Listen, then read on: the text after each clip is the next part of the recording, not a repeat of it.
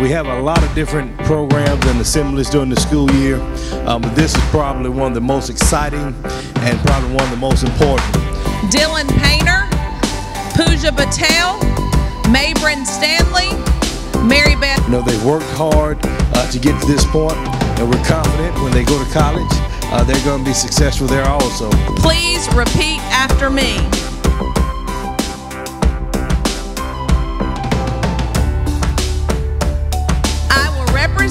My family, GHS, and most importantly, myself. I pledge to be committed to academic excellence, seek help when needed, and give help when possible. Students, please sign your pledge.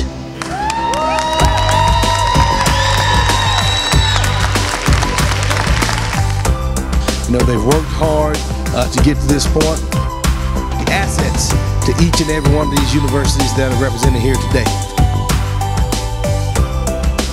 We just want to celebrate their accomplishments here at Gaffney High School and celebrate uh, their opportunity to move on to the next level.